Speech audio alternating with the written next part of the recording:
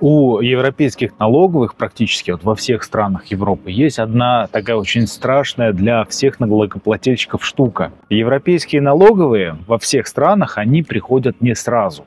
Вы э, подаете налоговые декларации, платите налоги, думаете, что у вас все хорошо, но проходит там 3, 5, 7, 10 лет, в зависимости от страны, опять же, э, и к вам приходит налоговая с так называемым уточнением. И у вас есть определенное, как правило, это небольшой промежуток времени, но, допустим, здесь в Испании этот промежуток равен 10 дням, э, чтобы отчитаться перед налоговой. Вот давайте на примере Испании.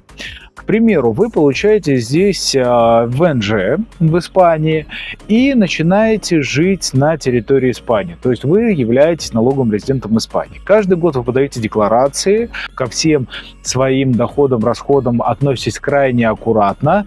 А, но проходит там 5 лет, как правило, в Испании это 5 лет для тех, кто живет на постоянной основе в Испании. И в некоторых случаях до 10 лет, если вы приехали в Испанию и э, живете на территории Испании, но получаете доход из-за рубежа. И даже до 20 лет есть такие случаи. Э, подписчики писали уже, что к ним приходят налоговые через э, 15-20 даже лет, чтобы уточнить вот эти операции, вот эти доходы. Как правило, это большие сроки на зарубежные поступления, то есть когда вам поступают бабки из-за рубежа, к этим доходам э, Испания относится крайне аккуратно, и у них есть большой промежуток для запроса. То есть, если вы получаете на территории Испании, это у нас идет 4 года по закону, то есть у вас могут истребовать уточнение ваших доходов только на протяжении 4 лет. И если это касается зарубежных поступлений, то здесь уже сроки гораздо-гораздо выше.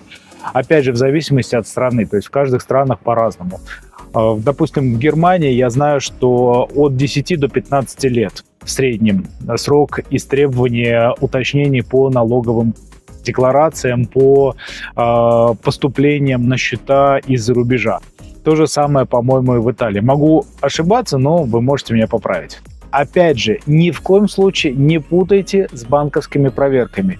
Да, когда вы зачисляете деньги на счет из-за рубежа особенно, либо вы наликом приносите деньги на счет и зачисляете, а, банк должен проводить проверку. Это одна проверка. Налоговая проверка – это уже другая проверка, которую проводит налоговая. То есть они сначала запрашивают э, бумаги в банке. Если у них там как, по каким-то критериям бумаги ваши не подходят, они обязательно у вас запросят уточнение, запросят дополнение, и у вас будет ограниченный промежуток времени. Исходя из понимания того, что налоговая приходит не сразу, желательно все свои документы, э, желательно в переведенном виде, допустим, на территории Испании требуют арбитражный перевод обязательно, э, желательно все эти документы хранить максимально долго.